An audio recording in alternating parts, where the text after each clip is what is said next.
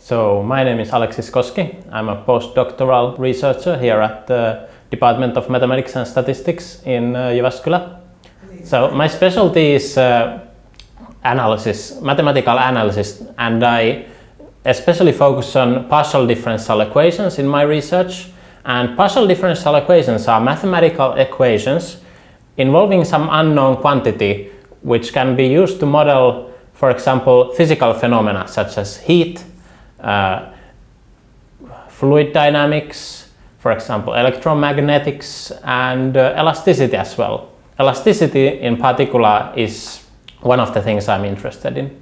So using these partial differential equations, we can, for example, try to figure out by mathematical models when does a rubber band, when you stretch it enough, uh, break, or how much can you squeeze some elastic material until there form some kind of cracks.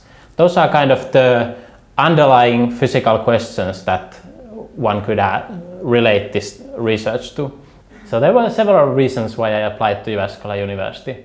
I always liked Jyväskylä for its uh, warm atmosphere in the Department of Mathematics and Statistics and uh, I really think the department holds up internationally.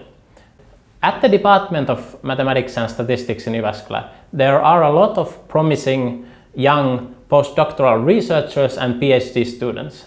And the feeling I get from the department is that it's really a place full of energy and full of desire to improve and to bring our research to an international level.